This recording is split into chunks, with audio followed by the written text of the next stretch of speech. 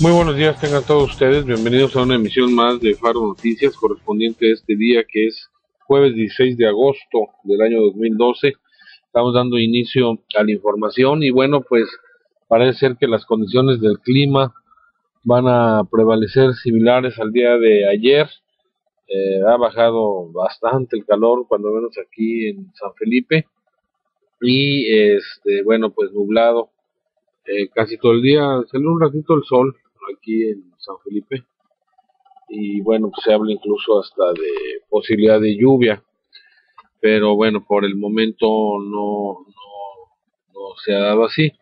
Fíjense que para Mexicali se informa que va a estar a 41 grados la máxima, mínima de 28 y bueno, pues eh, estamos en, en espera aquí de recibir lo que viene siendo el pronóstico para San Felipe. 35 grados la máxima, mínima de 29 es lo que se reporta, con lluvia y tormenta eléctrica, es lo que se está pronosticando aquí. En cuanto a la humedad, eh, ahorita eh, que son más o menos las 9 de la mañana, está un 73% es lo que indica este reporte y la más alta va a ser hacia la medianoche con 76% de humedad. Y bueno pues este así va a estar oscilando la, temperatura y la humedad aquí en San Felipe. Y bueno pues en Mexicali 41 como máxima 28 de mínima. Y los niveles de, de humedad va de 38 de 32% a 64% la humedad que van a tener allá en Mexicali. Y bueno pues eh, ahorita se supone que son 9 de la mañana se supone que están a 32 grados centígrados en estos momentos. Y bueno pues eh, pásesela bien hay que sí baja un poco la, el clima definitivamente pero pues eh, la humedad es, la que nos puede afectar y puede causarnos estragos a la salud. Y bueno pues en ese sentido eh, cuídese tenga precaución. Y iniciamos este servicio informativo continuamos en Faro Noticias. Bueno mire eh, tuvimos la oportunidad de entrevistar al delegado municipal Roberto Ledón Pérez Chica esto fue el día de, de ayer. Y bueno, pues ayer mismo eh, estábamos presentándole la, la, información acerca de lo que ocurrió ahí en el malecón con respecto a los preparativos de las fiestas patrias. También habló acerca de lo que sucede ahí en el malecón ahora con la remodelación y de la forma en que van a ser reubicados los comerciantes ambulantes que se encontraban sobre la, parte de Chetumal, eh, pues ya la parte final de la avenida Chetumal que eh, entronca ahí con el Boulevard Costero, con el Malecón, y bueno, pues esos comerciantes de tantísimo tiempo, bueno, cómo van a ser reubicados, y bueno, parece que traen una buena idea por ahí en el eh, ayuntamiento, en la delegación municipal. Si gusta usted, escuchemos al delegado Roberto Ledón Pérez Chica. La, la cuestión del, del, comercio ambulante en el malecón, eh, no sé si, si se vaya a concretar algún plan que se tenía de acomodarlos en unas tarimas y, luego pasar a otro lado. ¿Cómo, ¿Cómo, va ese asunto? Mira, aquí la intención es, uh, hay un grupo de, de, comerciantes semifijos que, que en un inicio de la remodelación del malecón estaban por avenida Calzada Chetumal, eh, frente ahí a un negocio de casa de cambio. Eh, son comerciantes que tienen mucho tiempo ya ahí establecidos. La idea aquí es siempre dar el beneficio que las obras de remodelación del malecón beneficien a toda la comunidad sanfelipense, ¿no? a la gente que trabaja de manera honesta y, y, arduamente durante todo el año. Entonces hemos convenido con estos comerciantes eh, semifijos y, con el, y, y, lógicamente también en una parte ya del comercio organizado de la parte sur del malecón, ciertos acuerdos que beneficien y que de alguna otra manera puedan ir eh, haciendo la mejora urbana ah, adecuada, que ve a conocer un, malecón más limpio, más ordenado. Ha habido fines de semana muy difíciles, de alguna otra manera estamos ahorita en, el punto donde tenemos que equilibrar eh, el cambio del malecón anterior que teníamos al nuevo malecón. Eh, sí hay que aceptar que, que, tenemos que buscar estas medidas o fórmulas que lógicamente le den el beneficio siempre al, al, residente local, pero que también vengan a embellecer y que de alguna otra manera haga que, que e, estas inversiones que están haciendo eh, coordinadas el, gobierno del Estado, el gobierno municipal, la iniciativa privada a través del Consejo de Desarrollo Económico, pues luzcan, ¿no? Entonces sí, sí estamos trabajando, Martín, en la forma ahí de, de cómo hacer la, las reubicaciones eh, pertinentes sin que el malecón pierda su encanto que es la playa, que es el mar, que es la vista, que se busque siempre la cuestión de la limpieza, que de alguna otra manera se retome el asunto del ordenamiento para que cuando cualquiera de nosotros camine por el malecón lo haga de manera tranquila, segura y siempre con un sentimiento de, que todo está muy bien a nuestro alrededor. ¿no? Ese es el objetivo, estamos cerca ahí de los comerciantes establecidos, de los semifijos, de los ambulantes, estamos haciendo allá ahí el, ordenamiento de los listados para que estos eh, no se pierdan de control, no se eleven los números de, de, comercios ambulantes o de comercios semifijos, que el comercio establecido de alguna otra manera también se adecue a las normas y a los, y a los acuerdos que estamos tomando en conjunto para que ya se vean las banquetas un poco más despejadas, buscar que hay una, según el proyecto del malecón, hay unas uh, plazuelas que ellos le llaman nodos, donde vamos a estar haciendo uh, una especie de, de, plaza pequeña con alguna escultura, bancas.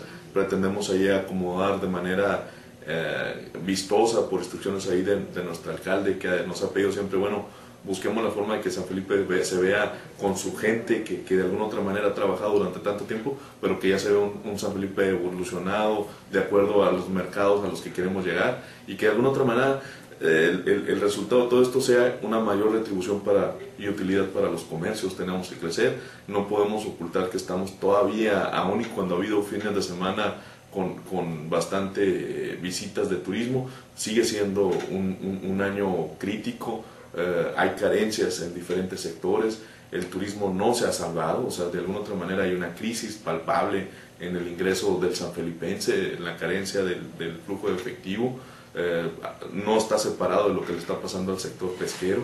Entonces sí hay que buscar esas fórmulas, pero juntos, de tal forma que, que, el malecón se vuelva lo que tiene que ser, ¿no? la carta de presentación, pero que siempre esté ordenado y, y que de alguna otra manera el paso del tiempo no no altere los, los compromisos o, los acuerdos que se tomen en conjunto, siempre y cuando respetando y llevando a cabo una mejora eh, pues, sustancial de lo que es el malecón.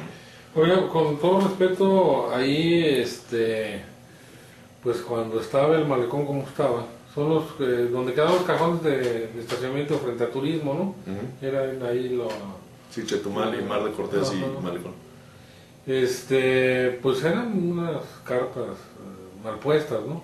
Así es. Que no van a, no van a estar acorde al, nuevo malecón, a, lo que se hizo. Entonces, ¿se van a ir con sus carpas a los nuevos? No, aquí, eh, y en una idea del, del, presidente municipal, la intención es, eh, algunos hemos visto de repente ahí en centros comerciales estos eh, puestos que están fijos en un punto, que se abren y se cierran, que son vistosos, a la, agradables a la vista, que dan una imagen limpia, segura para el comerciante la intención es eh, que en estos próximos 45, eh, 60 días se consigan los apoyos correspondientes para estos comerciantes que estaban en estos puntos, reubicarlos en este tipo de, de, puestos, ¿no? que, que lógicamente eh, hay mucha gente que combinado con el, con el comercio establecido, pues le vendría a dar un, un, toque ahí de lo que es la artesanía local y, lógicamente el folclore mexicano, pero siempre y cuando no se confunda folclore y artesanía local con desorden o, alteración del orden o, basura, etcétera. ¿no? Aquí estamos hablando de de, de, verdad elevar el, el, nivel del comercio y, y, como le he dicho, esto de alguna otra manera vendría a dar un mejor nivel como destino turístico, pero también una mayor redituable para las gentes que en eso trabajan. Este, y bueno, el, del malecón no sabe cómo va a quedar el asunto de la, de la barba o el pretil o no sé cómo le llamen. Está por terminarse la, la, la, la primera fase, algunos detalles de bancas, faroles, iluminación, se da por concluida la, primera etapa aquí promovida por el gobierno del estado, en esta que nos consiguió el señor gobernador ahí los 10 millones de pesos de la primera etapa. Ya arranca una segunda etapa, creo que ya estaban en el proceso de licitación ahí de, obra. Ah, lo que marca el proyecto que de alguna otra manera ha promovido el Consejo de Desarrollo Económico, coordinados con el Ayuntamiento de Mexicali y por gestiones del gobierno del Estado se han conseguido otros, creo, 10 millones de pesos. Eh, la intención es eh, terminar la banqueta que está ahí del bar Escándalo al Rositas, que es la banqueta pendiente de, de, cambiar los concretos, es, lo que quedó pendiente, tumbar la barda del, del malecón. Ya de alguna otra manera los fuertes oleajes nos han hecho el favor de, de, de, de, de, señalarnos, todo el mundo comparte esa idea, se ve más limpio, se ve libre, le quitamos la guarida ahí a, a, varios maleantes, este, pero sí le... tienen urgencias. Los que tienen urgencias ahí básicas, ¿no? De necesidades básicas por ahí, que, que, de alguna otra manera la presencia también de la policía municipal aquí ha sido clara, ¿no? En, el sentido de estar, no quitar el dedo del renglón. Eh, Vienen anuncios importantes, te comento, para el mes de septiembre con la presencia ya más formal de la, de la, y durante las 24 horas de la policía turística. En su momento ahí el, el alcalde va a hacer el anuncio de lo que es el, el plan integral de, de, lo que es ya imagen urbana, zonificación y ya lo que es un proyecto de visión para lo que es la, la, la zona centro de San Felipe, Malecón y lógicamente con el beneficio que esto arroja para la comunidad. Te comentaba, eh, se reemplazan estas bardas por un barandal, según el proyecto, con algunos accesos de rampas y escaleras hacia la playa y se amplía en un 20-25% la plaza de la conservación hacia los costados y hacia el frente. Eh, la intención es que la, la, la, barda que por muchos años nos sirvió de manera eficiente, eh, ahora sea reforzada con un rompeolas y con un barandal, de tal forma que ya no se, se, se bloquee la vista que las bancas que se colocaron ahí en ambos sentidos, hacia la mar de Cortés o hacia el lado del comercio y hacia la playa, pues tenga una visión más clara de lo que ahí está pasando, ¿no? O sea, de alguna otra manera que ofrezca, como ahorita nos lo estaba mostrando ya en ciertos puntos, ¿no? Que es mucho más agradable a la vista estar viendo el azul del mar sin necesidad de estar viendo una barda, ¿no? Y, y el mantenimiento y todas las situaciones que de manera negativa nos ha mostrado tener esa barda, ¿no? Claro. Y bueno, este, la, a la Plaza de la Conservación regresa la vaquita o no regresa? Sí, sí regresa. De hecho, este, está ahorita aquí la tenemos nosotros eh, de manera temporal hasta que inicien los trabajos de la Plaza de la Conservación. Hay un proyecto para reubicar esta escultura y algunas otras esculturas que se van a poner en, en todo lo que es la zona del malecón y la zona de la Mar del Cortés. Eh, muy seguramente en coordinación con las autoridades, en este caso de turismo, eh, Cotuco, el, el, el, Comité de Turismo junto con el Instituto de, de, de, Cultura, el IMACUM, estamos convocando a través del de, 20 ayuntamiento a la gente que quiera participar, queremos que, que la, la, identidad del pueblo crezca y, y, y, tenga ese sello particular, pero lo que nosotros como San Felipe queramos que esté representado en nuestro malecón. Entonces vamos a abrir estas convocatorias para jóvenes, para adultos, para hombres, para mujeres, para que nosotros decidamos qué escultura, qué diseño, de qué material queremos que estén representadas estas nuevas figuras que acompañarán a la vaquita marina de San Felipe en lo que es la zona del malecón.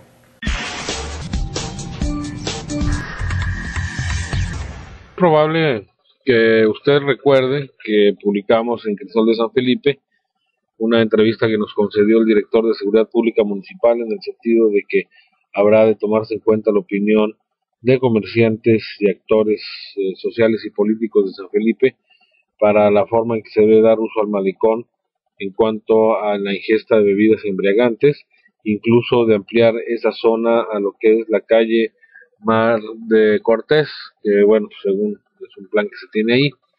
Y bueno, pues han pasado los días, ya estamos a mitad de mes, quedan 15 días para o menos de 15 días para el día 1 de septiembre, fecha en que se supone que entran las nuevas reglas de operación del malecón y el ayuntamiento no ha convocado. Y bueno, esperemos que no se les haga bolas el engrudo y que después estén los jaloneos. Pero en fin, hay que ver qué es lo que sucede, qué es lo que pasa con este asunto del malecón y la ingesta de bebidas embriagantes.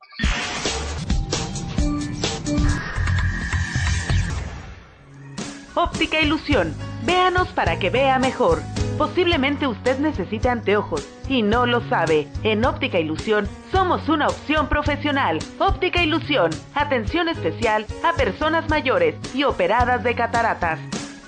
Porque usted lo merece. Atención personalizada. Óptica Ilusión, en calle Mar Bermejo, esquina con calzada Chetumal, a un costado del Polloyón, de lunes a sábado, de 9 de la mañana a 7 de la tarde. Óptica Ilusión, su mejor opción para ver mejor. Su descanso en San Felipe está en Suites Posada del Mar. Confortables habitaciones con vista al mar, además cabañas para acampar. Reserve al 044 6862 23 54 84. Suites Posada del Mar. Prolisa, proveedora de limpieza de San Felipe, la solución en higiene y limpieza. Extenso surtido en papel, misceláneos, químicos, pesca. Además, contamos con todo lo que usted necesita para la limpieza de su piscina. Lo esperamos en Prolisa, proveedora de limpieza de San Felipe, la solución en higiene y limpieza.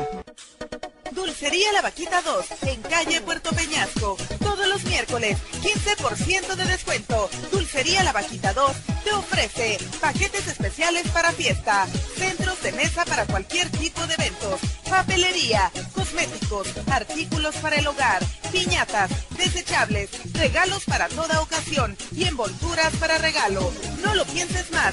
Todo lo que usted necesita para sus fiestas en Dulcería La Vaquita 2. Te esperamos de 9 de la mañana a 10 de la noche. Dulcería La Vaquita. En calle Puerto Peñasco, a unos pasos de la Cruz Roja.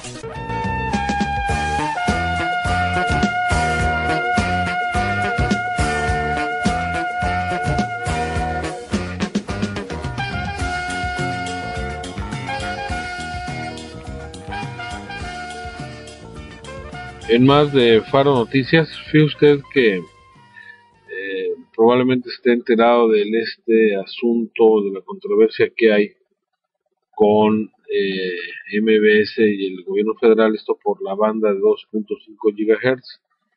Y bueno, pues eh, este es un asunto entre el gobierno de federal y MBS, Multivisión, y denunció públicamente a funcionarios del gobierno federal de condicionar la renovación de sus concesiones de banda ancha 2.5 GHz a cambio de diversos actos en favor de Televisa, así como el despido de la periodista Carmen Aristegui.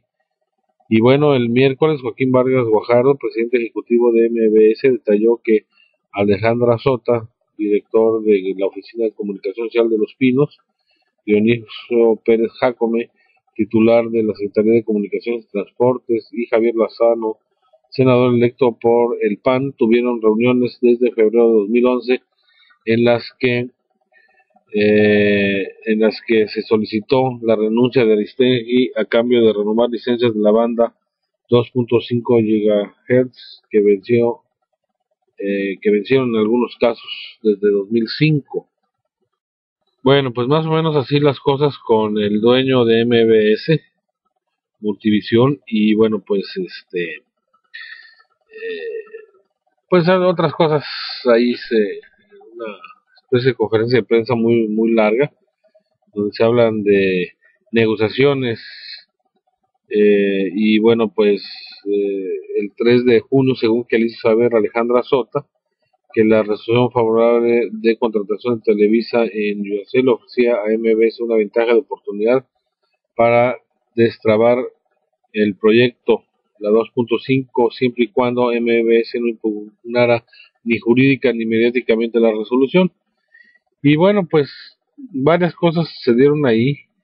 Y bueno, pues eh, el gobierno federal pues obviamente rechaza todo esto. Y la respuesta que da es que Comunicación Social de la Presidenta se deslindó de la salida de la señora Carmen Aristegui de MBS, la decisión editorial de MS correspondió única y exclusivamente a MBS no al gobierno federal. Eh, la política de comunicación social de la presente administración está completamente diferente a la política pública en materia de telecomunicaciones. Rechazó la coordinación de comunicación social haya ofrecido al señor Vargas viabilidad de proyecto de la 2.5 a cambio de que este no impugnara la reducción de concentración de Televisa en Yusacel.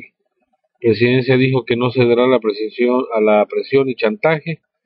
Y bueno, pues Vargas afirmó que va a presentar pruebas donde sustenta que recibió presiones del gobierno federal. Pues triste este asunto de donde pues hay este tipo de regulaciones y vamos a ver qué, qué pasa más adelante, pero bueno, pues eh, así como es un mal cierre, un mal cierre de sexenio el que está teniendo el presidente Felipe Calderón Hinojosa. En unos momentos más, allá en la capital del estado, ahorita a la hora que estamos grabando esto son 9.15 de la mañana, eh, bueno, pues eh, a las 10 va a haber una eh, ceremonia importante ahí en el Congreso del Estado, en donde se conmemora el Día del Constituyente, se va a entregar la medalla de honor de manera póstuma a exgobernador Milton Castellanos Everardo, y van a tener varias actividades ahí en el gobierno del estado y bueno pues a este respecto el Congreso celebra simposio para conmemorar el 59 aniversario de la Constitución Política del Estado Libre y Soberano de Baja California. El diputado Carlos Munguía expuso en breve la historia del surgimiento de nuestra Constitución y el licenciado Milton Castellanos Gould habló sobre la necesidad de una revisión exhaustiva de la misma a 59 años de su promulgación. El Congreso del Estado, a través del Instituto de Opinión Ciudadana, Estudios Económicos y Sociales, cuya director es eh, Guadalupe Guterres Fregoso, llevó a cabo un simposio como parte de las actividades conmemorativas al 59 aniversario de la Constitución del Estado Libre y Soberano de Baja California, el cual se realizó en la Sala Mujeres de Baja California, Mujeres de Baja California Forjadoras de la Patria del recinto legislativo. El diputado Alfonso Garzón Satarain, presidente de la mesa directiva, dio la bienvenida a los asistentes y destacó que de esta manera el constituyente es de suma importancia para la vigésima legislatura del Congreso. Anunció otras actividades relevantes dentro de la misma, como la sesión solemne, en donde este jueves, o sea, el día de hoy, se entregará la medalla de honor del Congreso a la familia del ex gobernador Milton Castellanos Everardo. Durante su exposición, el legislador Carlos Munguía ofreció un breve pero profundo y documentado relato de la historia social política de Baja California, haciendo mención de diferentes etnias indígenas asentadas antiguamente en este territorio, así como de las misiones y habitantes que fueron forjando nuestra identidad hasta concluir con el surgimiento de la Constitución y el nacimiento del territorio como Estado libre y soberano de la República Mexicana. Esto es Baja California. Resaltó la importancia de conocer las fechas precisas, precisas en que se desarrollaron las acciones que antes, antecedieron a la creación del Estado de Baja California e hizo referencia a que nuestra Constitución no puede contraponerse al pacto federal. Para concluir, mencionó que Baja California no se vende, se defiende, frase que arrancó los aplausos de la concurrencia. En su alocución titulada La Constitución del Estado Libre y Soberano de Baja California, en el marco del neoconstitucionalismo mexicano, eh, Milton Castellanos Gould ofreció una revisión de la posición que tiene nuestra constitución local en relación con la corriente de pensamiento llamada constitucionalismo contemporáneo. Estoy convencido de que a casi 60 años de su vigencia, la constitución de nuestro Estado requiere, exige y merece una revisión exhaustiva, precisó. Por último, explicó que no se trata de convocar a una innovación constitucional simplemente para estar al último grito de la moda legislativa, sino para atender nuestras propias necesidades de defensa constitucional sin menoscabo de lo que ello implica a, su vez revisar el texto y contexto de nuestra normatividad constitucional actual y determinar, y determinar incluso qué medidas de voluntad del poder soberano nacional residente en el pueblo californiano se encuentra rezagada respecto de las reformas que ha vertido la Constitución Federal. Bueno, pues ahí eh, se da esta información de pues la propuesta, la propuesta es que se revise la Constitución. Vamos a ver qué pasa más adelante. Tenemos más información del Congreso del Estado. Fíjense que eh, todo está listo, se informa, para que, para que Tijuana sea la sede de la vigésima Asamblea Internacional de ANOMAC.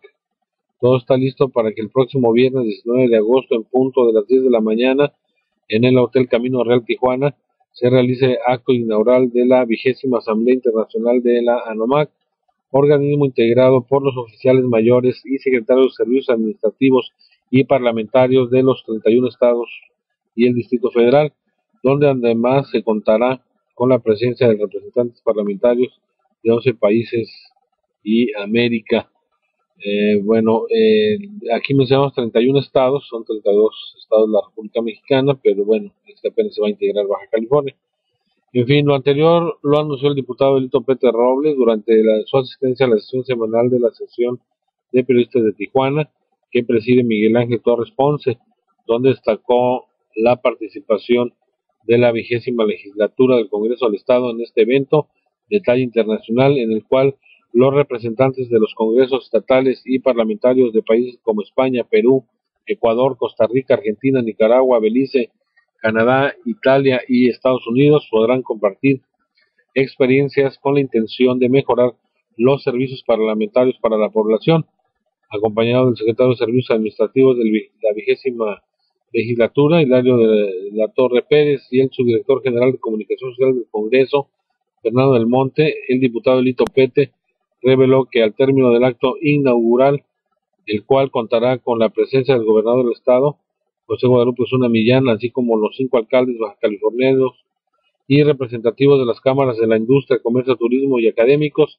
se, firmará el convenio de colaboración de transparencia entre el Poder Legislativo del Estado de México con el de Baja California. Topete Robles explicó que el objeto del convenio es compartir la experiencia que tiene el Estado de México en el ámbito de transparencia, ya que actualmente esa entidad es considerada como la más avanzada en ese tema y se buscará ser eficiente aún más la transparencia en el Congreso de Baja California para otorgar un mejor servicio a la ciudadanía. Por su parte, el secretario de Servicios Administrativos de la vigésima legislatura, Hilario de la Torre Pérez, agregó que al término de la firma del convenio, el programa contempla una serie de conferencias magistrales, impartidas por especialistas en los temas legislativos. Precisó que la primera de ellas será impartida por el secretario general de la Cámara de Diputados del Congreso de la Unión, Fernando Serrano Magallón, posteriormente el secretario general de Servicios Parlamentarios del Senado de la República, Arturo Garita Alonso, y continuar con el calendario de exposiciones. Bueno, pues ahí está esta información en donde se da allá en Tijuana, la Asociación de Periodistas que preside Miguel Ángel Torres Ponce, quien, bueno, pues eh, regresa, ¿no? Los de antes van a regresar por sus fueros.